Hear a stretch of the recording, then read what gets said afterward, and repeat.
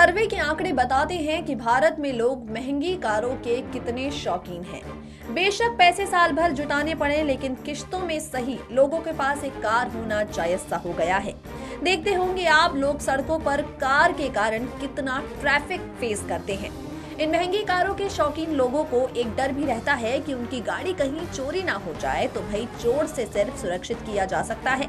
इसलिए उसके सुरक्षित करने के लिए हम आपको बताने जा रहे हैं। अपनी खास रिपोर्ट में हम आपको अपनी कार को सेफ़ रखने के कुछ उपाय बताएँगे।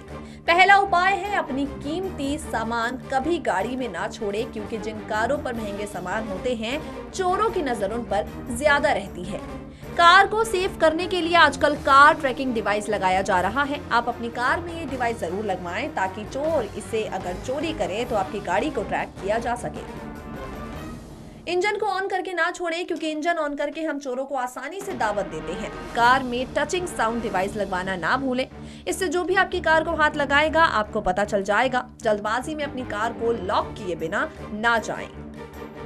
नेक्स्ट नाइन न्यूज़ भोजपुरिया की रिपोर्ट